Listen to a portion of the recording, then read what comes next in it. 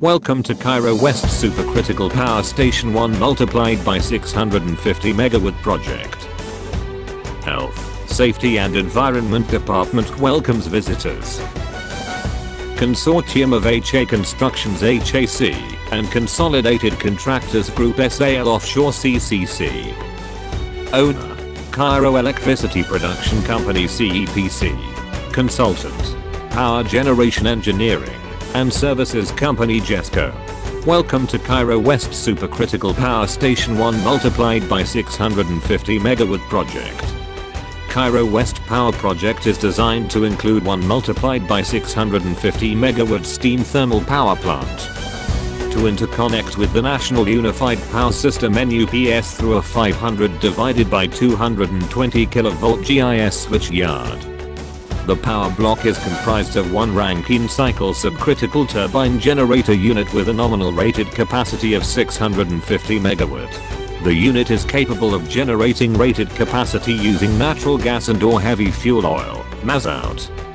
The unit arrangement includes an indoor turbine building, an outdoor boiler structure, a control room, and all associated structures and facilities.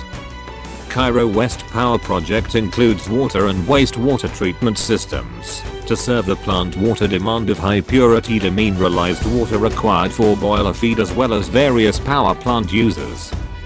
Raw water from Nile River is supplied via intake structure to feed the water treatment system through power plant pump house, where supply pumps and raw water screens is located. The water slash wastewater treatment installed in Cairo West Power Plant also the desalination and water and wastewater treatment installed Cairo West Power Plant. The project completion rate has reached more than 98.5%. The total number of workers in the project is currently more than 251 people so far, and more than 4.837 people have participated in the project, and also more than 50 subcontractors such as Alum Steel and Arkans Company which carries out the installation of steel structure. KEPCO which carries out the chimney activities. Global Energy which carries out the work of air conditioning electricity and mechanics. Arab Contractors Company which performs the installation and dismantling of sheet piles offshore. Lafarge Company which carries out the work of concrete mixer. BAUER Egypt company which carries out the work aboard concrete piles. Health and safety statistics. Basic HSE training and hazard awareness has received 4837 people so far with 43,600 hours. More than 62,066 people received special training other than basic HSE training 64,357 hours. In addition to the weekly mass toolbox talk, to cases of medical treatment have been received so far, as well as 19 cases of first aid. Our HSE record make us proud. We have achieved more than 8,934,368 safety work hours without LTI so far. Let's look at all an overview of project progress so far. Establishing trust. One key to working effectively as a team is for team members to respect and trust each other. In construction projects, people from different departments, such as construction, quality, safety and all sections of the project, must cooperate closely. It may be difficult for these people to understand each other's apostrophe approaches to a problem. Members of the construction team should spend time getting to know each other, learning a bit about the work they each do. This can help team members trust that the other people on the team know their jobs well and can accomplish what they set out to do. Teamwork has given us a one-stop solution that encompasses many of our project management needs. We've gone from using a range of tools to just the one. And as a result, our team is more efficient and therefore more effective. Teamwork in construction activities. A typical construction site includes many different trades. competing priorities, and pressing deadlines. Good teamwork makes the workplace more efficient and safer for everyone on the job site. Teamwork includes open communication and everyone contributing to improve the workplace to safely and successfully achieve the construction goal. Teamwork starts with pre-planning and organization. Setting clear expectations guides everyone to work toward the common goal of a successful, safely built project. It is important for workers on the job site to know the project's priorities of safety, teamwork, and quality. The required safe work practices so everyone follows the same rules on the job site. Every person's role and responsibilities. The location of emergency equipment and the ability to operate it. Complicated construction work tasks are simplified when people work together. Workers that watch out for each other can complete more work safely and efficiently. Worksite teamwork includes asking for help instead of taking shortcuts, unnecessary risks, or winging it. Offering help when more hands or a better method can make the job safer. Offering constructive suggestions when workers see unsafe behaviors in others maintaining good housekeeping at all times, even when it's someone else's mess. Cleaning the worksite and setting up equipment and supplies for the next shift's success.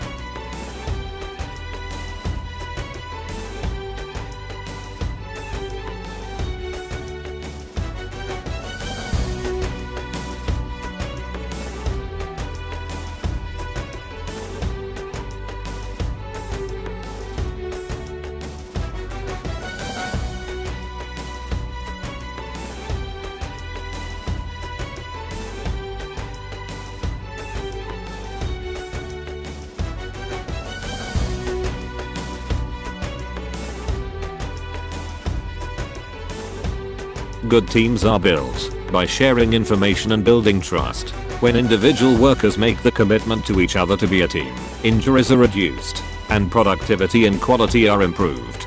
Construction teamwork builds safety into every job to achieve successful projects.